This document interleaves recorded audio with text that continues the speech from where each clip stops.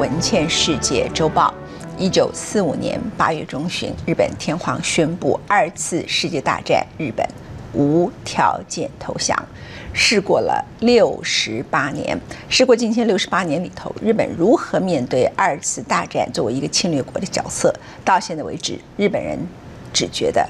他们战败了，而日本的经济再度遇到了新的瓶颈，这也使得日本在经济。以及在右倾的问题里头，又开始进入了一个新的拉拔战。今天《文青市周报》将以一整个小时专题，为大家讨论今天面临难题的。日本这个难题包括日本的政治，也包括日本的经济。首先，我们先来看经济的部分。自从安倍经济学之后，日本的确创造了短暂的荣景，但是刚刚公布的数字显示，日本的经济出现了两难，贸易赤字正式拉警报，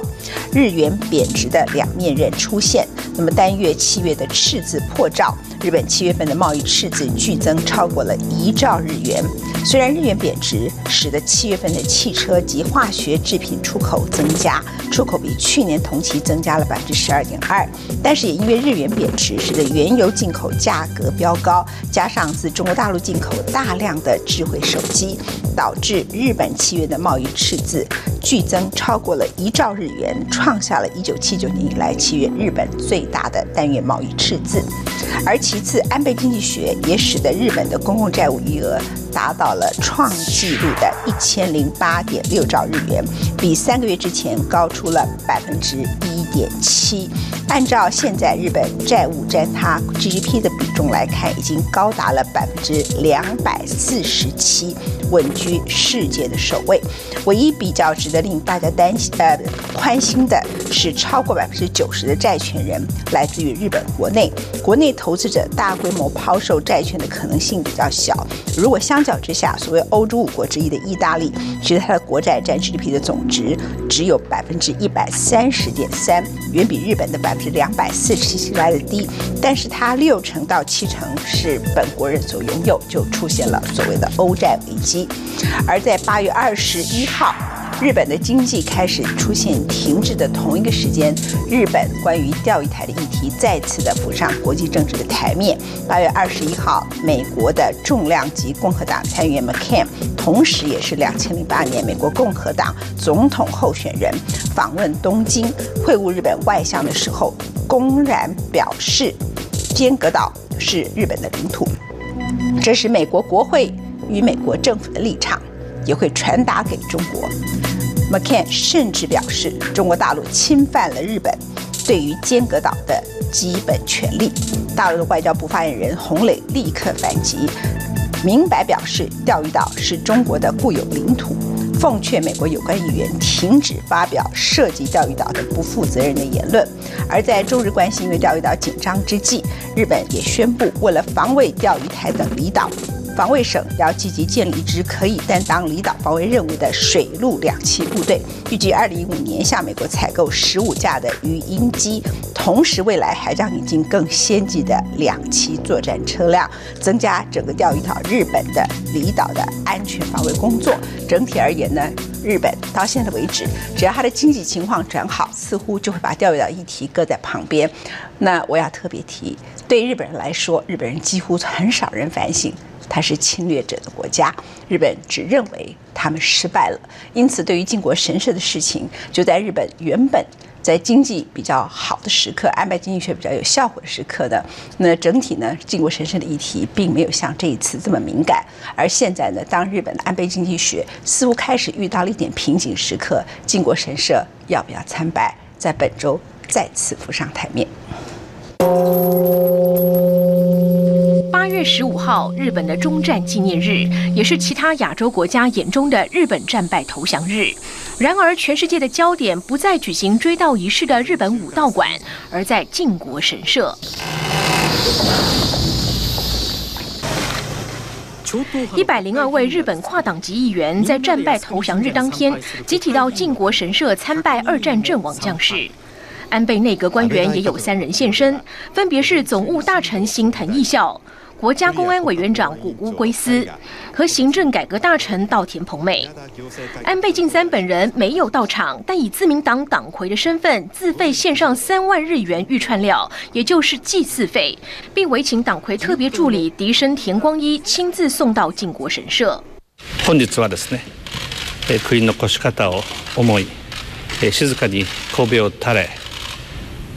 御霊を悼み、平安を祈る日だと思います。 その思いを込めて、萩生田総裁特別補佐に玉口を補填をしてもらいました。隔天的南韩报纸直接说，安倍晋三以代理的方式进行参拜。中国大陆和南韩都认为这根本是欲盖弥彰的变相参拜。安倍想要参拜靖国神社的心，诚如他在二月于国会殿堂的发言一般，从未改变。前回の 第一次安倍内閣において参拝できなかったことは私自身は痛恨の極めだったと。安倍総理大臣は引き続き靖国神社に参拝するタイミングを探っていくものとみられます。参不参拜靖国神社如此引发争议，因为在这个神社里供奉了十四名甲级战犯的牌位。あの日本の英霊の皆さんにですね、我々は心から感謝をする日がこの8月15日ではないかというふうに思います。ありがとうございました。質問いいですか？あなたはドイツ人だからあの逮捕されますと知ってますかそれ。どう思いますか？ドイツだったらねあなたは逮捕されますね。憲法違反だから。どう思います？か何を言ってんだお前は？何を言ってんだお前？なんで逮捕されるなんで逮捕されんだ？ふざけるなよお前。なんで逮捕されんだ？なんだおい。どういうことだ？質問していいですかバカ野郎いいですか、うん、なんで逮捕されんだドイツだったら逮捕されるこんなことしないとこっちは日本だなんでふざけるなわかりました帰れ早くそういう日本は大丈夫ですバカ野郎帰れ这一段加拿大民众在靖国神社前呛右翼日本民众惨遭追打的影带，在战败投降日前又被翻了出来，被大陆中央电视台强力放送。大陆和南韩更是以败鬼来形容。 除了参拜靖国神社，另一件令北京及南韩愤怒的是安倍晋三擅自打破村山谈话的默契，没有在演说中对二战期间遭到侵略的各国表示反省。あなた方の犠牲の上に今私たちが享受する平和と繁栄がありますそのことを片ときたいとも忘れません 村山谈话是指一九九五年，当时日本首相村山富士在战败投降日追悼仪式发表演说时，对于曾经遭逢日本殖民的亚洲诸国表达了痛切反省之意。对于省略了这一点，安倍也自有一套解释。式辞の対象が国民なのか諸外国なのかはっきりしなかった。今回は英霊に対して決意と感謝を伝えるものにしたと述べました アジア諸国への加害責任を感じていないわけではなくそれは外交の場などで伝え伝えることができると述べました。第二天，所有的报纸更无一例外的把重点放在了安倍晋三在日本中战纪念日演说时，首次略过了对侵略邻国的反省。虽然中国大陆人透过外交部副部长刘振明召见日本驻北京大使木寺昌人抗议，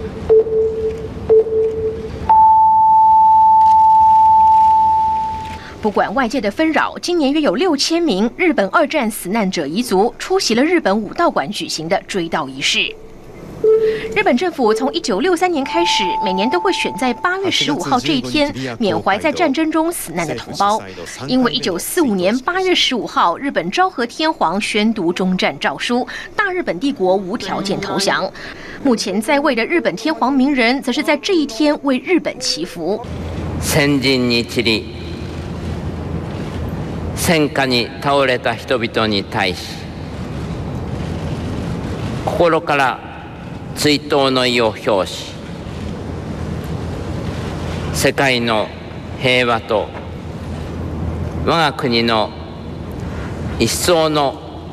発展を祈ります。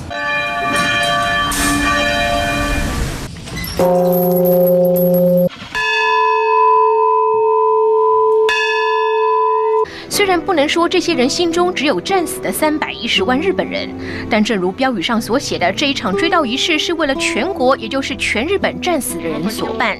至于其他在二战期间遭受日本侵略，包括中国的一千八百万名罹难者，以及韩国的五十万，还有泰国的四十五万名死难者，显然都不在追悼的英灵之列。Differences